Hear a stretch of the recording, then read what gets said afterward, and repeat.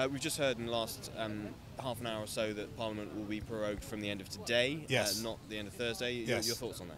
Um, well, um, Gerard Batten, UKIP's previous leader, uh, asked for the prorogation of Parliament back in January, January the 31st this year, uh, and he was right to ask for that. And I'm very glad that uh, uh the uh, government has caught up with that and realised that uh, our Remainer Parliament is not actually Uh, serving the people of this country who voted to leave, and is doing everything it can, has done everything it can over the last three years to stop us leaving. So, getting the Parliament out of the way seems to me to be a vital step to delivering what the people of this country voted for in 2016 and so it's a great it's great news that it will be prorogued we've had enough of the remainers in uh, parliament behaving like little tyrants and stopping this country from doing what it voted for which is to leave the EU choosing to do it from the end of today though they could have waited till Thursday it, it smacks of perhaps an ulterior motive not not not wanting there to, is an to ulterior motive the, the motive the is to leave the European Union.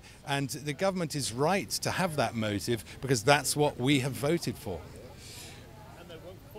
Boris Johnson this morning has said that he is still trying to get a deal, despite the fact that Amber Rudd and plenty of other people are co convinced that he's not.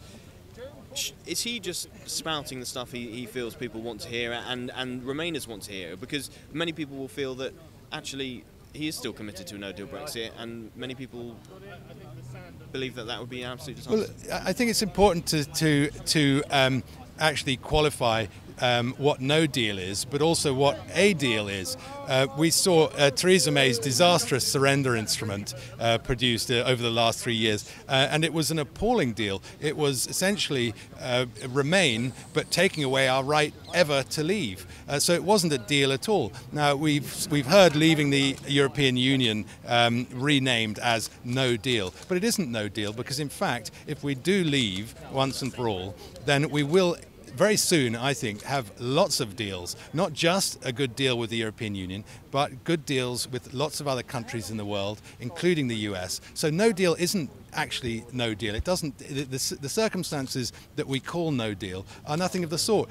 Uh, they are actually lots of deals and very good deals, and Britain will thrive if we can actually leave and then be free to make the deals that suit this country, not just all of the other countries of Europe.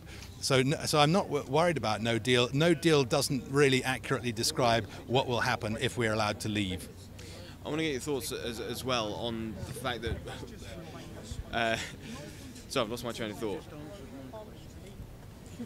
Thank you. Good. I want to get your thoughts as well on something that is being mooted, which is um, Theresa May's deal being revived, but with the backstop being altered to only uh, apply to Northern Ireland rather yes. than the rest of the UK in order to get that deal passed and Brexit to be delivered by the 31st of October. Would that be something that, that you're in favour of? Absolutely not. Um, the backstop is only one of the terrible, terrible treacheries in Theresa May's surrender instrument. There are many, many other problems with that uh, appalling document.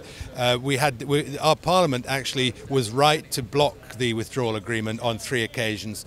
Uh, it contained uh, um, essentially handing over of our sovereignty. It was staying in the European Union uh, in in uh, in all but name.